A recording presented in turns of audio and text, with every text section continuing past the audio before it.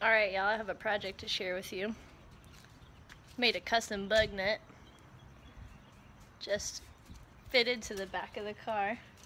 And uh, all I had to do was buy a 4x4 piece of basically window screening. You can barely even see it, but it's here.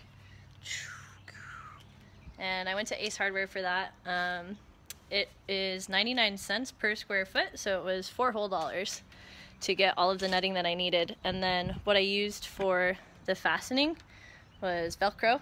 Um, this stuff is heavy duty, industrial strength. It holds up to 10 pounds. I actually used this for my curtains inside too.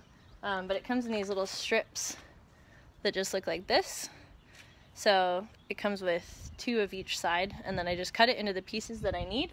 So each of those pieces are dispersed throughout the top. So here, here, here, just points of contact to make sure it's spread evenly.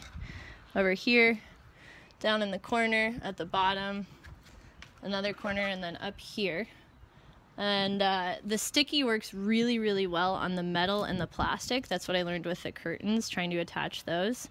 Um, it's not going to stay to fabric or a screen quite as well, so I sewed it onto the curtains and the bed mattress cover.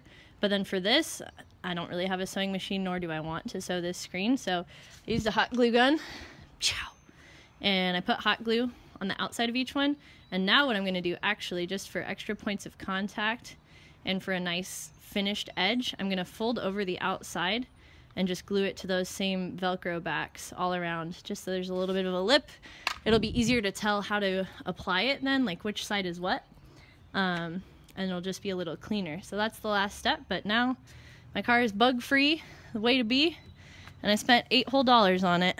Um, very worthwhile project. Definitely have read from a lot of people that you want to have a bug net. So successful project done for the day, well almost, and uh, not too much left to go. I'll show you some cool stuff tomorrow.